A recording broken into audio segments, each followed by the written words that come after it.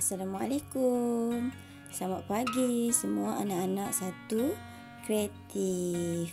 Berjumpa lagi kita dalam mata pelajaran bahasa Melayu untuk uh, kali kedua minggu ni. Baiklah hari ni tak ada muka cikgu ya. Uh, hari ni suara je jangan cari muka tak ada. Baiklah, takut kamu bosan lah asyik tengok je kan muka cikgu hari ni cikgu bagi suara je. Baik, kita sambung lagi tajuk kita. Saya sihat, saya selamat. Tema kita jaga kita. Baik, untuk hari ini tadi kamu dah tengok kan video YouTube. Ha, cikgu bagi link tu. Dia cerita mengenai uh, apa yang kena buat kat sekolah. Bila kita dah masuk sekolah, apa yang kita kena buat untuk mengekalkan SOP. Dan dalam video tu juga tadi ada menyatakan mengenai uh, penjarakan sosial dan sering mencuci tangan, basuh tangan untuk mengelakkan daripada jangkitan virus. Baiklah, hari ini cikgu nak sentuh mengenai penjarakan sosial dan basuh tangan. Okey, penjarakan sosial.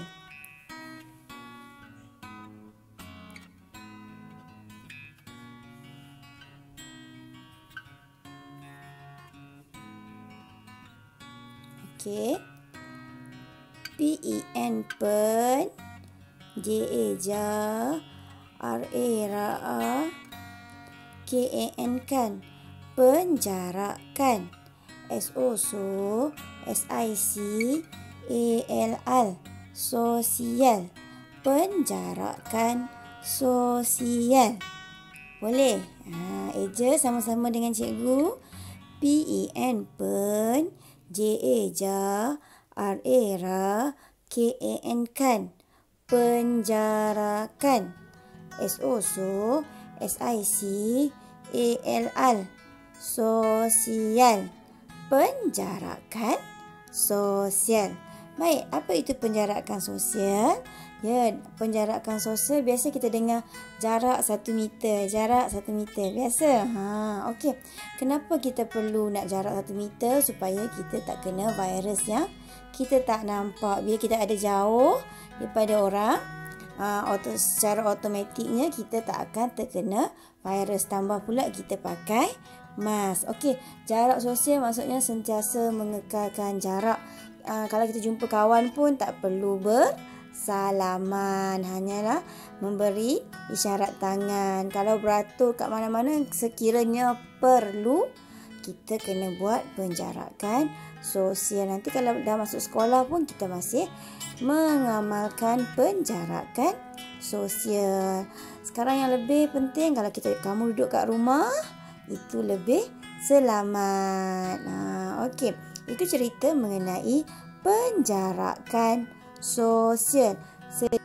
Baik, seterusnya kita sambung pula dengan basuh tangan. B A ba S U H so basuh. T A ta N G A N ngan tangan. Basuh tangan. Eja sama-sama dengan cikgu. B A ba S U S so basuh. T A ta N G A N ngan tangan. Ah biasa kan kita dengar basuh tangan. Okey kita nak tengok cara untuk kita basuh tangan dengan betul. Ah basuh tangan dengan betul. Mana ni? Okey cara membasuh tangan dengan betul. Yang pertama kita buat apa tu yang pertama yang pertama, basuh tangan dengan sabun dan air secukupnya.